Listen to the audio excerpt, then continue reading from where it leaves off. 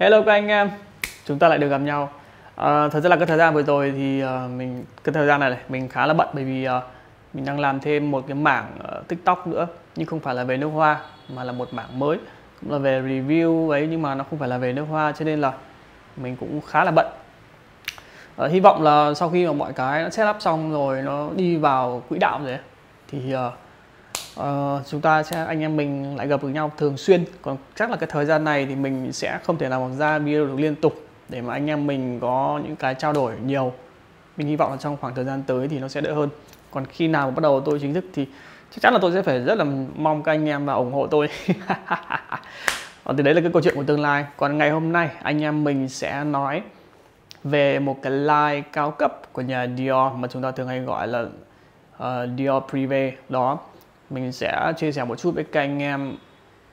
Ừ, ít nhất là đến hiện tại bốn chai nước hoa mà mình thấy rất là ưng đấy đó mặc dù cái line này thì mình các anh đều biết là rất là nhiều rất rất là nhiều chai thế nhưng mà đến hiện tại thì uh, có bốn chai mình cảm thấy rất là um, ok.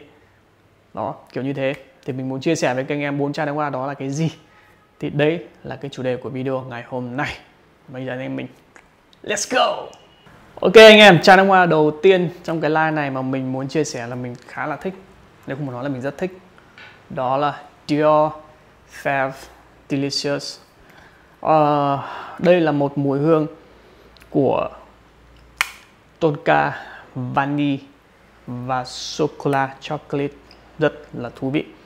Uh, Nếu như mà anh em nào mà là một fan của những cái tông mùi Kiểu như là đồ ăn thức uống ấy kiểu mùi thơm mùi ngậy của bánh hay một cái gì đấy đã khá là liên quan đến cái nhóm hương Roman à, cái nhóm hương mùi hương của thức ăn đấy. Thì chắc chắn là mình nghĩ đến phải đến chín hơn 90 phần trăm là sẽ thích cái chai Fair Delicious này. Đấy, đặc biệt là bây giờ đang ngoài Bắc này mấy hôm nay bắt đầu nhưng ngày hôm nay mình đang quay là trời bắt đầu nó âm u xong nó lạnh lạnh ấy. xịt mấy con này nó thật với các ông sướng phê lắm. Ờ, ngậy ngọt và rất là thơm. Nói chung là uh, một cái một cái mùi hương mà anh em nào mà tín đồ ưa thích những cái mùi bánh kẹo mà không có chai này thì là hơi phí. Uh, mình thì sau một khoảng thời gian thì mình cũng đã săn được một cái chai này bởi vì rất là đắt. Chai này rất là đắt mà uh, nó rất là lỡ cỡ. Nó không có chai 100ml mà lại chỉ có 125 và 250 đó thì giá rất là đắt nhưng mà cuối cùng thì mình cũng tìm được một cái chai vừa đủ uh, vừa để đều thẩm và vừa mà xịt cũng được không sao cả. Đó thì chai nước hoa đầu tiên đó là Fave Delicious. Chai nước hoa thứ hai đó là Dior Oud Ispahan. À, đây là một mùi hương theo một cái combo của trầm và hồng của Trung Đông. Tuy nhiên thì uh, với cái sự nhào nặng đó cái sự kiểu như là có cái chút thay đổi thì cái trầm và hồng ở trong cái mùi hương của Oud Ispahan này nó khá là khác với cái style mùi của Trung Đông. Nó, nó, nó không cái kiểu dữ dội nó không có cái kiểu gai góc. Mà khi mà chúng ta ngửi chúng ta sẽ cảm thấy là uh, nó rất là vừa vặn. Mọi cái đều vừa vặn và nó rất là nó thế nào nhỉ? Nó có cái nét um, hiện đại kiểu như thế.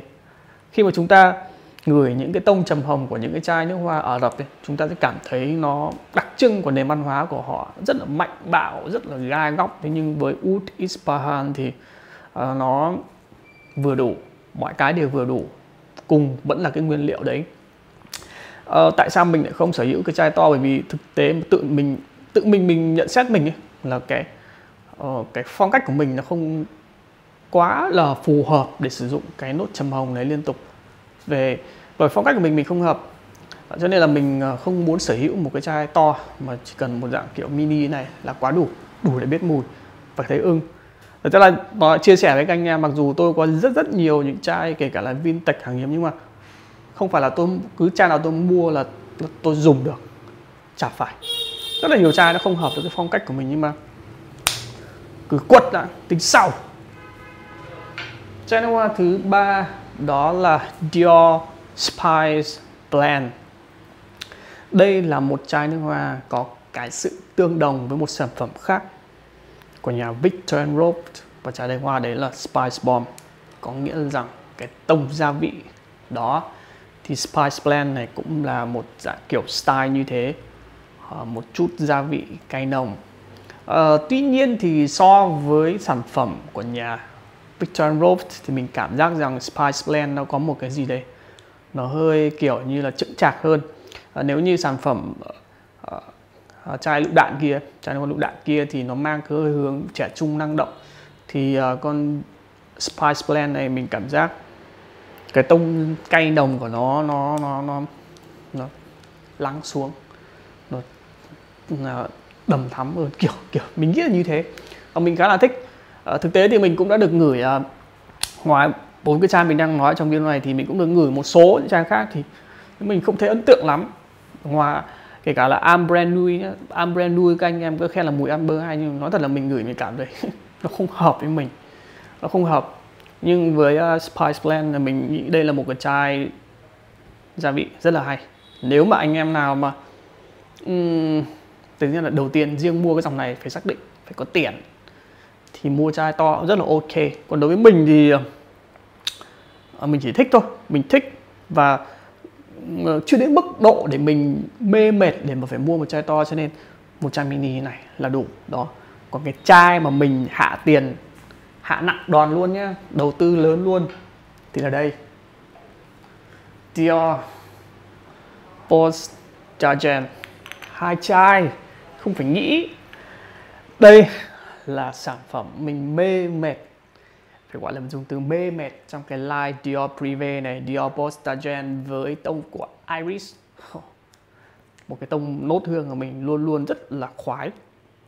Uh, chai nước hoa này có sử dụng iris và gọi là nhũ hương. Đó nó tạo nên một cái phong cách rất lịch sự lịch lãm và nhẹ nhàng. Đó, đối với mình như thế chỉ là đủ không cần nhiều. Thì đó là cái lý do tại sao mà Dior Bostagen là cái sản phẩm mình ưa thích nhất trong cái line của Dior Privé và mình đã phải có hai em. Riêng những chai mình đã thích thì cứ phải là hai không nói nhiều.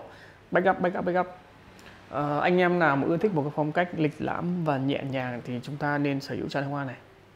Đặc biệt là cái tầm tầm như kiểu hơn 30 ấy 30 đổ lên. Xịt con này đi làm thì tuyệt vời luôn. Rất là đẹp rất là phù hợp. Đó. Dior Postagen thì bữa sau mình vừa chia sẻ đến với các anh em bốn chai nước hoa mà mình cảm thấy rất là thích trong cái line Dior Privé. Uh, video của mình là hết rồi. Uh, rất hy vọng anh em cảm thấy thích và chúng ta sẽ gặp lại trong những video tiếp theo. Ok bây giờ bye bye.